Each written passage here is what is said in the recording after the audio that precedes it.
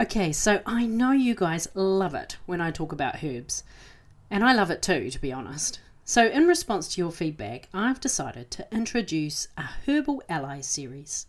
It won't be every week, but at least once a month, we'll take a look at either a herb that's coming up quite a lot in clinic or one of my favourites. Today, I'm talking about myrrh. Those three wise men were onto something when they chose gold, frankincense, and myrrh for their gifts. It's potent, it's powerful, and its uses are broad ranging. Let's get started, shall we? Well, hello, beautiful people, and welcome to the Project Joyful podcast. I'm your host, Tracy Tutty, your medical herbalist and high performance coach.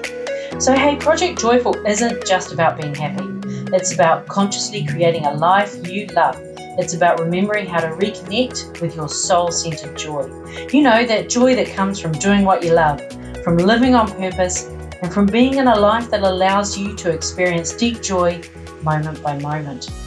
So, hey, let's get started, shall we? So, myrrh, or Commiphora myrrha, comes from a family of Commiphora trees that are found in Yemen, Somalia, and Ethiopia. The medicine is a resin that's collected from the tree's branches and it's dried for later use. Because it's a resin, it doesn't dissolve in water. So if you're making a tincture from it, you need to ensure that the alcohol volume is at least 90%. It needs to be shaken well before it's used so that your shaking creates a temporary emulsion. This combination of the natural properties of myrrh and the high alcohol makes it your go to for disinfecting wounds. But beware, the high alcohol content in the tincture does make it sting a bit. It's broadly antibacterial. It's also effective against two waterborne parasites, liver fluke and schistosomiasis. It's also astringent. So think about the combination of those properties in terms of closing wounds and keeping them clean. Many of the music festivals have a herbal first aid tent and powdered myrrh is used around the clock for those party induced scrapes and gashes. It's also effective against airborne bacteria. So, if somebody in your house has a chest based bacterial infection, for example, burn some myrrh resin on a charcoal disc to disinfect the air. You can also use an essential oil in a steam burner. Myrrh is also your bathroom cupboard go to for mouth infections, ulcers, and sore throats. It's quite bitter, but you do get used to the taste. To make your gargle, add a teaspoon of myrrh tincture to half a cup of water. Swill it around in the glass to create that temporary emulsion. You'll know it's hanging together because the liquid will be a creamy colour. Swish it around in your mouth for good dental health or gargle it if your throat feels a bit sore. Don't worry if you swallow some, as its combination of disinfecting and tightening makes it a great digestive herb as well, and it's good for the liver. Researchers also confirmed its traditional use for gingivitis and bad breath. It's known to heal mouth ulcers, and its anti inflammatory action calms the redness and swelling associated with gum disease. It's a wonderful skin herb, particularly in relation to acne, weeping eczema, and bed sores. It reduces pain and it has some effect as a pain relieving anti inflammatory when it's applied to sore muscles and joints. The essential oil of myrrh is a great after exercise rub down. Add 40 drops of essential oil to 100 ml of olive oil. If you need it to be a bit more glidey on your skin, experiment with substituting some of the olive oil with grapeseed oil until you get your preferred consistency. Grapeseed oil is really slippery. It doesn't need to be entirely myrrh based. Get creative. Maybe add in some essential oils of ginger, wintergreen, but not if you're allergic to aspirin, as wintergreen is full of salicylates. Try some lavender or some lemon.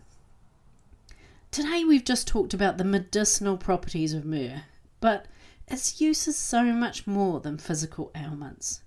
It's often associated with spiritual practices, and it's known as a herb that is calming and grounding. It invokes a sense of reverence and invites us to step into a space of contemplation and reflection.